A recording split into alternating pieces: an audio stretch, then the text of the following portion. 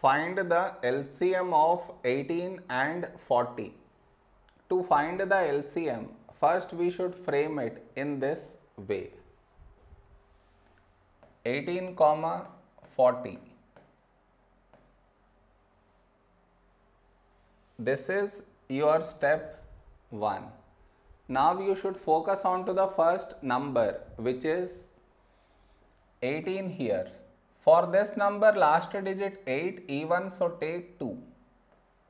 When do we get 18 in 2 table? 2 nines 18. The other number 40 last digit 0 so this is divisible by 2. First number 4 when do we get 4 in 2 table? 2 twos 4.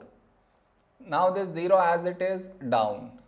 Here we have 9, 9 is 3 threes 9. The other number 20 not divisible by 3 so we write it down as it is.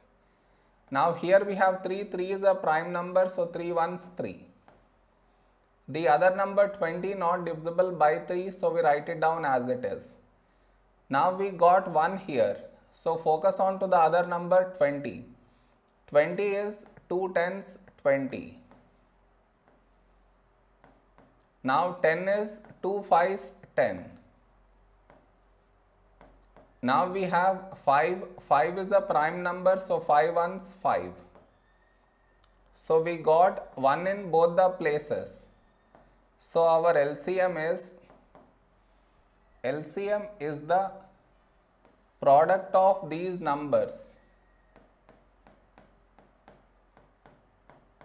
that is 2 into 3 into 3 into 2 into 2 into 5. So let us multiply these numbers.